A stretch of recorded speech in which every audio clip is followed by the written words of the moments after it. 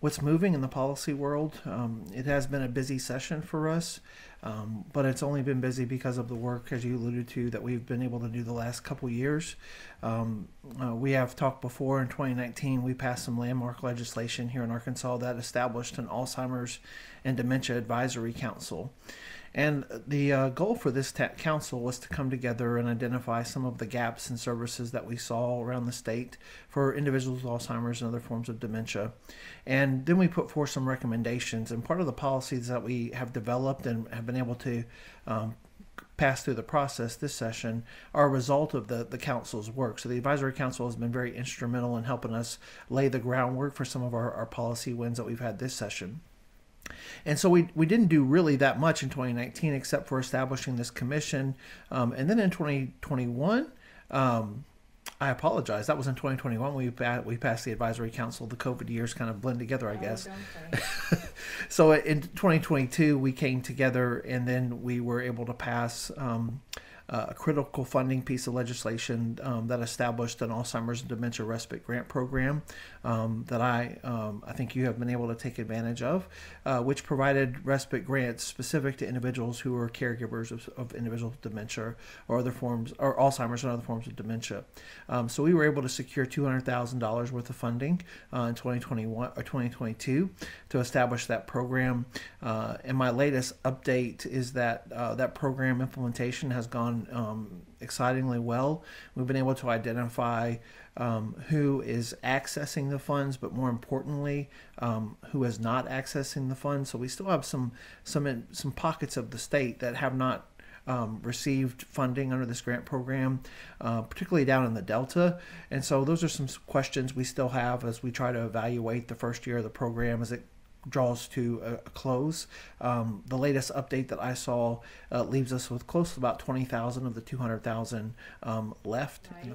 That that's the big question. I think we need to find an answer to. Is it uh, lack of awareness? I my hypothesis is that uh, that is a big part of that, um, and, and, so it's lack of awareness. And then we're we're we're also wondering if um, if there's access issues in terms of finding someone who can provide the respite care that you need down in the Delta and the northeast pockets of the state.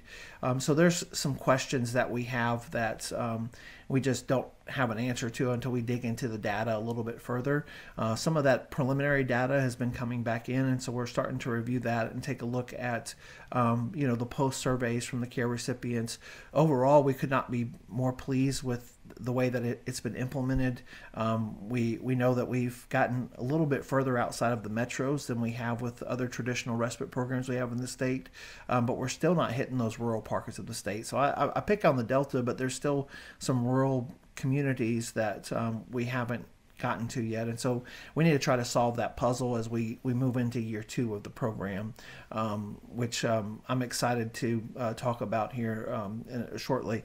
Um, so the, the program has been going well. We know that funding is, is gone through uh, pretty quick. We've gone through the funding pretty quick. It's lasted about two more months than I thought it would, um, but we still have about 20,000 left, of course, and that will go really fast because those who received the grant had to wait six months before award period, and we're about that time where the six month cycle comes back. So we we anticipate some of those folks will come back for more funding, um, which is that's why it's there. So um, uh, it, and I, I, think running out of funds this early in the year because it was supposed to last us to July uh, helps us make the case down the road uh, for the need for more funding and taking a more comprehensive approach to respite care um, because that's not only that's not the only source of respite care. It is the only source for our folks that's specific to our folks but there's other programs out there. And what, what the state needs to do and what we plan to do as an advisory council is take a look at uh, who's accessing services under which programs um, is there overlap and how can we we take a more comprehensive approach to make sure that folks um, get the help and the services that desperately need. So the first year of the program was and that's why it's called a pilot is for us to just kind of get a gauge on the need, and I think we've proven that. And our providers have done a great job getting the funds out in a timely manner, getting it in the hands of people that need it most. So we couldn't be more pleased again with the process. Um, but now we've we've got to kind of look forward as this this project kind of goes into its permanent stage. How do we make adjustments to just increase access to services? And yours is a great model and a great example to uh, expound on just a little bit. It allowed you the flexibility, which is why we designed the program the way that we did, to hire someone that your mom was familiar with, a, a close family friend, um, and that gave you the flexibility as a caregiver to, to have a, a, level of trust. You didn't have to hire someone like a professional caregiver agency. Um, you got more more bang for your buck, if you would, um, hiring someone that your mom knew as well. So that created a you know a safer space and probably relieved a lot of the anxiety for you leaving your mother at home in the nighttime. And so yours is um, one of the, the reasons why we designed the program we did um, to, to, target those folks who may not make uh, they may make too much to qualify for Medicaid, uh, but not enough to pay for in-home services because those can be those can be very expensive. So yours is a great model and example why we've done the program the way we have, and um, we're hearing stories like yours from across the state. Um, one lady in particular uh, was able to take a girls trip, her first one, um, first time she's ever been able to leave her husband in four years, Theba, because of this, having access to the respite grants. And so um, those are the kind of stories that we've been hearing that have been just heartbreaking, um, but also very comforting and assuring that we've done the right thing. So I, I really refer to this session as the dementia training legislative session. Um, we've been uh, very successful in introducing several um, dementia training pieces. Um, one of the components of the Alzheimer's and Dementia State Plan that was released in October of 2022 uh, was to look specifically at dementia training standards across the care settings. Um, we know that Alzheimer's happens on a continuum, and so does the care that one receives. So they may start out with home based care, but eventually might have to move and transition into more of a permanent long term care facility. So we looked at uh, dementia training requirements that we had in place in statute um, that covered all the care settings that um, individuals with dementia um, frequent, right? And so um, we introduced uh, legislation. Um, House Bill 11 um, or 1267 um, was a dementia training bill that has crossed the finish line, has been signed into law by Governor Sanders. This uh, establishes two hours of initial dementia training for home care providers. So those that provide home-based care, um, those uh, employees will have to complete the two hours of dementia initial training. Um, they did not have a requirement, um, and so we wanted to implement that because we know um, that you know Alzheimer's and dementia folks um, readily access those that, that, prefer to remain and age in place at home, use home-based services. So we're going to make sure that um, those class of workers have the training they need to interact with the unique needs that Alzheimer's and dementia patients present. And that's um, you know we were very careful with. Uh, these new standards because we, we realize that across the healthcare spectrum, um, we have workforce issues here in the state, and so um, we, we, we've heard from providers that it's been very difficult for them to uh, recruit uh, new employees and then retain them. Uh, but what we've argued is that, uh, to your point, one of the reasons people exit the healthcare system is because they feel inadequately prepared to deal with some of the issues, particularly for our population, because it's di- it's difficult to manage. It is a uh, a unique disease that's unique to the individual. Um, you can't take a blanket approach to care. Uh, we argue for a very person-centered approach, and so we've emphasized that in the training bills that we filed. Um, but that's one of the things that we've argued that this will help them retain their workforce and make sure that they're better prepared. We've had very very little opposition from providers. We've actually worked intently with providers to make sure we had legislation that was fair to them in terms of implementation because we want it implemented well, um, but also with the understanding that we'll walk alongside them as we move to those implementation phases after the session. it, it is very crucial. Members of law enforcement have frequent interactions with the dementia population, um, whether it be uh, routine traffic stops or um, uh, you know, God forbid, uh, a search and rescue situation where they have to help find someone who is prone to wandering. Um, most of our population is prone to abasement and wandering issues, and so frequent, uh, you know, a, a, caregiver's first calls the, is the law enforcement personnel, right, to come and respond. And so it's important for them to have the tools they need to uh, communicate with individuals with dementia, being able to recognize dementia-specific behaviors, um, because sometimes those behaviors can present as hostile, and to be able to interact with individuals to de-escalate those situations. And so uh, we, um, uh, we, we already knew that the state police was receiving uh, three hours of standardized training. We wanted that to, to also exist with municipal officers officers. So what this uh, bill actually accomplishes, it requires new recruits coming into the academy beginning in January 1st of 2024 to receive a minimum of two hours of dementia training, but it also um, directs them to, to some specific content, um, particularly around the field of search and rescue.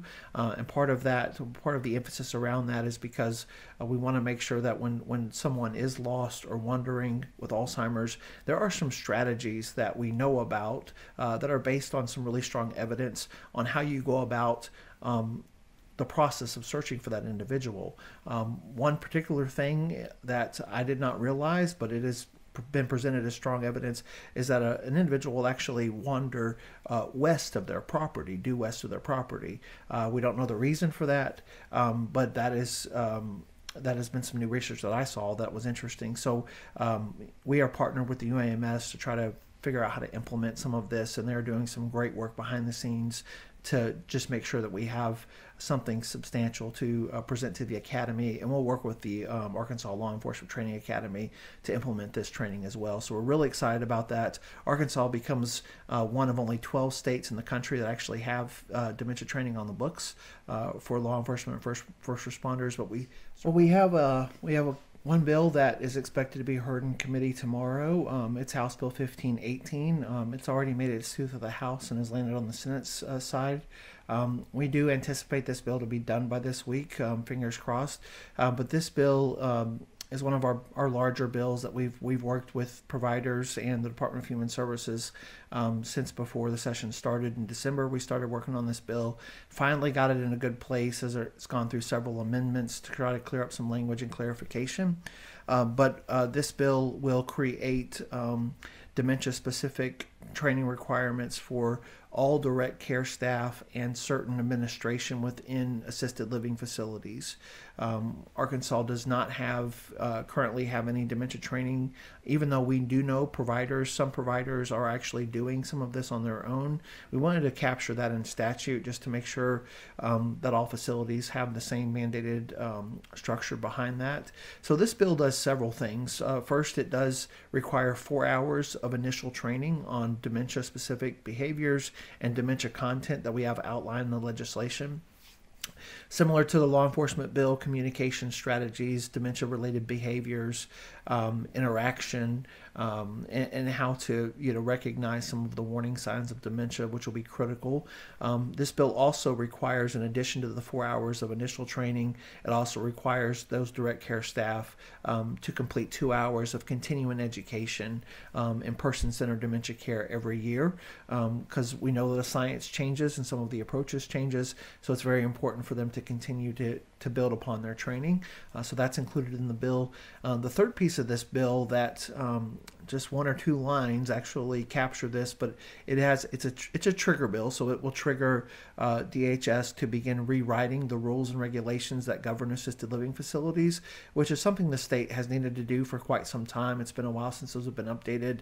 Uh, so as we move to the implementation process of this legislation, um, we'll begin working with DHS to promulgate the rules uh, that govern assisted living facilities. There's several things in there we want to clean up, um, specific to our population. Some of the things that we're looking at as well. So uh, those three things will be accomplished through this bill. Again, it's it should be heard on the Senate Public Health Committee tomorrow morning um, at, at 9:30, um, and then we hope that before spring break um, on Thursday it'll make it to the Senate floor and head to the governor's desk before the session uh, gavels out for spring break. Uh, every year, we uh, around this time of the year we we release our annual facts and figures report. Um, that uh, look specifically at um, you know the data we've been able to collect through the behavioral risk factor surveillance system, which is a project working on with the health department. Um, and so we, we uh, update the facts and figures around the number of individuals in, in Arkansas with Alzheimer's, um, caregiver data, um, several components of data that help us influence our work um, and, and, to display the need that we have here in the natural state. Uh, this year there is a special report attached to our facts and figures report, as there is every year. Um, but this year we looked at um, one of the big questions we've been trying to answer for the last few years is why um, individuals are hesitant to have these conversations around Alzheimer's and dementia That's and memory issues. with um, with their caregivers, or, or, excuse me, with their physicians, and why physicians aren't uh, are hesitant to initiate those conversations as well. And so that's a I, I think a, a nugget we really need to try to crack uh, an egg we need to try whatever the metaphor is we need to try to solve that question um, and that goes back to our original point around erasing stigma and um, you know uh, normalizing the conversation around memory issues. Um, and, and, another bill we have moving through the state house uh, that this facts and figures, figures report is going to help us fuel and and make the need for, and it has been one of our heavier lifts this session is to establish uh, a dementia coordinator within the Department of Human Services. Uh, Arkansas needs this infrastructure to be able to meet the needs that we see, and our facts and figures report reveal um, that um, you know early information, early data shows me that uh, the need in Arkansas is only growing. Uh, it's not shrinking. It's not going away. Um, and we know that Medicaid spending, which is a huge priority for the governor to get under control, um, is is grossly impacted by our population. Alzheimer's is the most expensive disease uh, to treat. It's the sixth leading sixth leading cause of death here here in the Arkansas. Um, and so state lawmakers and and the governor need to take a look at um, a comprehensive look at Medicaid spending, but specific to our population, as this need continues to grow, um, the state's going to really need to make sure that we have um, we have things in place uh, to provide services, uh, you know, care and support services, early detection and diagnosis of Alzheimer's dementia, and take a look how we're going to treat this and how we're going to pay for it. Because if we don't get ahead of it, uh, Medicaid spending will continue to grow um, at uh, exponential amounts as as numbers continue to increase. And uh, Medicaid is one of the huge you know expenses in the state and so uh, you know the facts and figures kind of show and point to that uh, but the dementia coordinator bill is finally i'm happy to report in a a good shape. I, I feel really good about where we are. Um, if you would have asked me that question about a month ago, um, and I think I shared this at the advocacy day, I didn't feel that great about it. Um, I was, you know, I, I, still thought we had about a 50 50 chance. Um, those odds have moved up to, to 90 10. I'm, I'm almost comfortable saying 95% we're going to get it through the finish line this year. Um, and that bill uh, hopefully will be heard in committee um, tomorrow. Uh, it's already passed out of this committee once. It passed out of committee last Monday, um, but we did have to amend it and uh, make some some changes uh, to cover up some conflict of interest that might have existed for the DHS. So we want to clarify that for the agency. Um, but we've made those corrections and we'll re, re, rehear it in committee tomorrow where I anticipate it'll pass and, and go through the process pretty quick. We hope to have that out of the Senate by the end of this week, uh, which would be really good um, as lawmakers head for spring break. Um, you know, the final piece of legislation that we talked about on the onset is just securing funding for the Alzheimer's Dementia Respite Grant Program. Uh, we know that DHS has included that in their budget this year, uh, so we know that $200,000 uh, has been appropriated for that amount. Um, that bill is still not through the finish line. So we're still watching that, um, and, and, that's that's uh, you know the last three pieces of legislation that we have is the coordinator bill, the assisted living bill, and then um, you know the funding request for the Alzheimer's Dementia Respite Grant Program. Um, and one of the other bills we got passed earlier in the session was kind of a uh, a low hanging fruit bill. Um, it was House Bill 1166, which was already passed. And what that did was strengthen the Alzheimer's and Dementia Advisory Council, if we kind of go for full circle again. Um, but we added two members to the council uh, someone from the home care uh, provider industry, because they were underrepresented, and also someone from assisted living, um, because we want to make sure they had full representation, that the continuum of care was adequately represented on the council to help inform our work as we go forward. Because uh, one of the other pieces of that legislation that we passed in 2021 is that it requires the state plan to be updated um, every four years, uh, but also those biannual reports we have to deliver to the uh, legislature on uh, implementation process, and that's that's key because in previous state plans. Um, we may have done a good job developing the state plans, but sometimes those state plans just looked good on a shelf somewhere, um, and very little action and movement has been happening to implement them. We made sure that in this legislation and in statute now, um, uh, there is an ongoing effort uh, around Alzheimer's and dementia uh, until we get to the day that we're all hoping for, and that is a cure.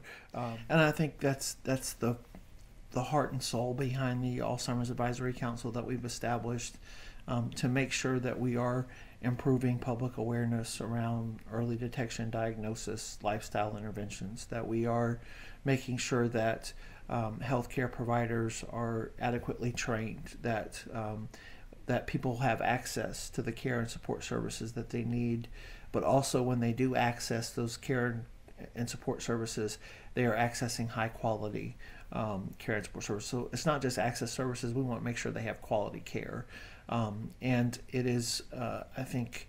Uh, one thing that I, I, I, say you know, every time we have a conversation around our, our policy engagement, whatever we're doing um, at the State House or in DC, um, it's important for me to share that when I walk into those rooms and I have those conversations, I, I think about people like you, Theba, who are in the trenches, um, you know, providing that care every day uh, to a parent, to a grandparent, uh, or to those who, who listen who've lost loved ones, um, because uh, it, it is um, we do fight very very hard uh, for the people that we serve because uh, it's it's important. And and again it's personal to me um, but I, I absolutely love the work I do because I know it's so important to the people that we serve. And uh, we, are trying to just make sure that Arkansas is a place um, that that people can turn to. I, I firmly believe, and I've told this to lawmakers and anybody who would listen, that Arkansas is positioned to lead on this issue if we'll take advantage of it.